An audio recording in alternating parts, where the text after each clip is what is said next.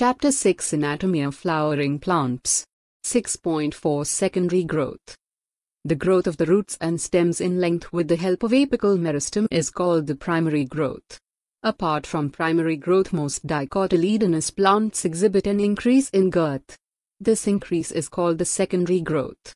The tissues involved in secondary growth are the two lateral meristems, vascular cambium and cork cambium. Let's begin with vascular cambium.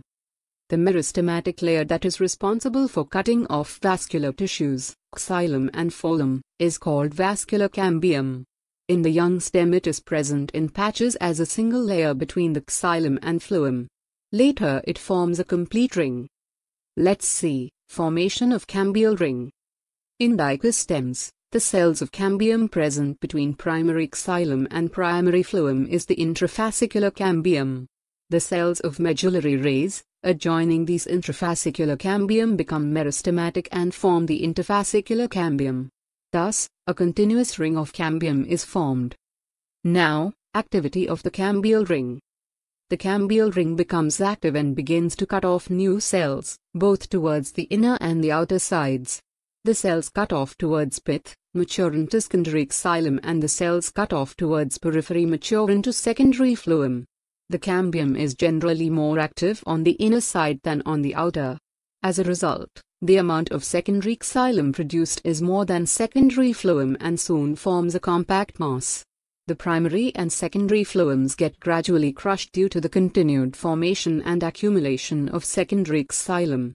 The primary xylem however remains more or less intact, in or around the center. At some places, the cambium forms a narrow band of parenchyma, which passes through the secondary xylem and the secondary phloem in the radial directions. These are the secondary medullary rays. Compare springwood and autumnwood. The activity of cambium is under the control of many physiological and environmental factors. In temperate regions, the climatic conditions are not uniform through the year. In the spring season, cambium is very active and produces a large number of xylary elements having vessels with wider cavities. The wood formed during this season is called springwood or early wood. In winter, the cambium is less active and forms fewer xylary elements that have narrow vessels, and this wood is called autumn wood or late wood. The spring wood is lighter in color and has a lower density whereas the autumn wood is darker and has a higher density. The two kinds of woods that appear as alternate concentric rings constitute an annual ring. Annual rings seen in a cut stem give an estimate of the age of the tree. Next compare heartwood and sapwood. In old trees, the greater part of secondary xylem is dark brown due to deposition of organic compounds like tannins, resins, oils, gums, aromatic substances and essential oils in the central or innermost layers of the stem. These substances make it hard, durable and resistant to the attacks of microorganisms and insects. This region comprises dead elements with highly lignified walls and is called heartwood. The heartwood does not conduct water but it gives mechanical support to the stem. The peripheral region of the secondary xylem is lighter in color and is known as the sapwood. It is involved in the conduction of water and minerals from root to leaf.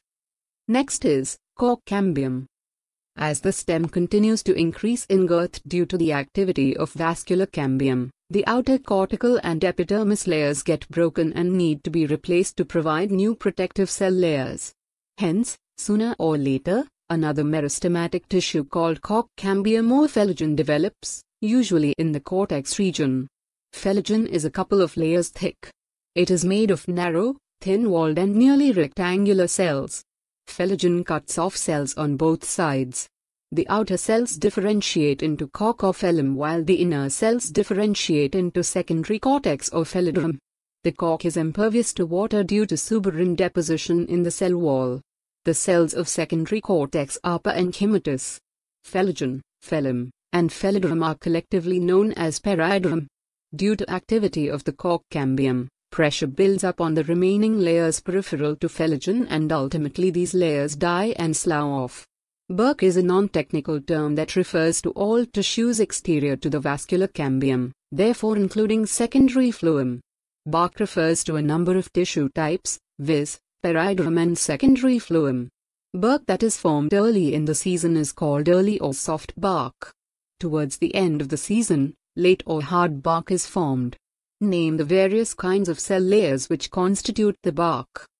At certain regions, the phellogen cuts off closely arranged parenchymatous cells on the outer side instead of cork cells. These parenchymatous cells soon rupture the epidermis, forming a lens-shaped openings called lenticels. Lenticels permit the exchange of gases between the outer atmosphere and the internal tissue of the stem. These occur in most woody trees. Lastly, secondary growth in roots. In the dicot root, the vascular cambium is completely secondary in origin.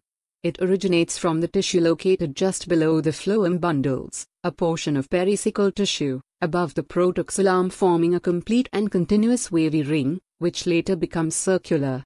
Further events are similar to those already described above for a dicotyledon stem. Secondary growth also occurs in stems and roots of gymnosperms. However, secondary growth does not occur in monocotyledons. வணக்கம் like பண்ணுங்க share பண்ணுங்க comment பண்ணுங்க subscribe பண்ணுங்க நன்றி வணக்கம்